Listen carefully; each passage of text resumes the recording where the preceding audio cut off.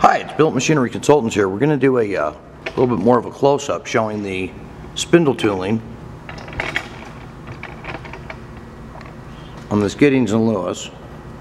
So what we call this here is a quick change spindle. I'll just get this out of the way, then we'll show you how to take it in and out real fast. A quick change spindle positively retains or ejects the shanks of cutting tools by means of a simple wrench adjustment. And that's the wrench adjustment right in through here. Okay, right here is the Allen wrench. Here's one of the end mill holders that's sticking out. And this is our sample of exactly how it clamps and holds it in there and then ejects it afterwards. So that's just our sample.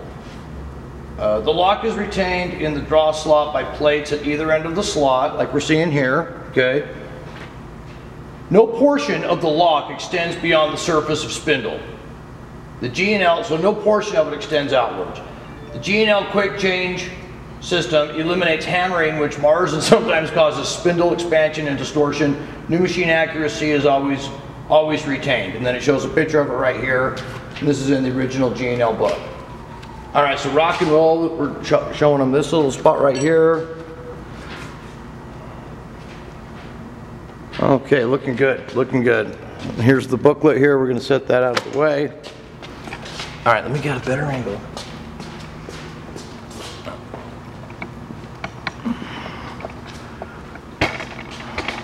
Okay, buddy. All right, ready to go. Perfect. Yeah, ready to go. As good as I can get it. Okay, so you see how you just uh, undo it with the, with the Allen, Allen bolt? Okay, all right, let me, let me back up a little bit.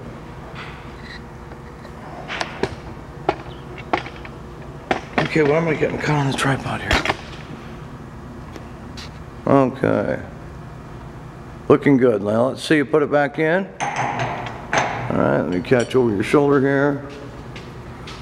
On your left shoulder. And again, the machine's not under power. This is not a big deal. It's not even hooked up. It's locked out as a matter of fact.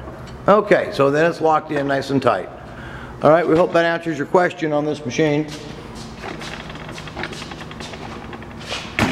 Well, that tripod's attacking me? Gosh. Until next time. And if you have any questions, let us know. Um, also, I should show them the backup tool if we want. Yeah, until next time, be happy, be healthy. Thanks again. Have a great day. Here again is the sample that shows the quick lock right here, where he ejects it, pulls it, clamps it. Um,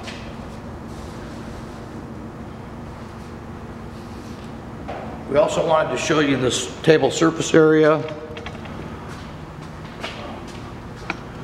Okay, where everything is fine, unencumbered.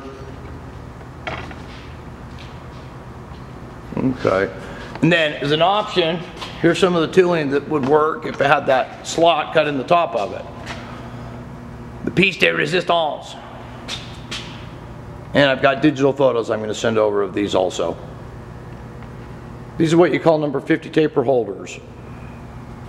Number 50 NMTB or number 50 NST. What we're seeing here this is a drill chuck. It's going to go into the. There we go. Thanks, man. And that goes into the drill chuck arbor. Okay. All right. Cool. All right. Giddings and Lewis inspection video out. Thanks again.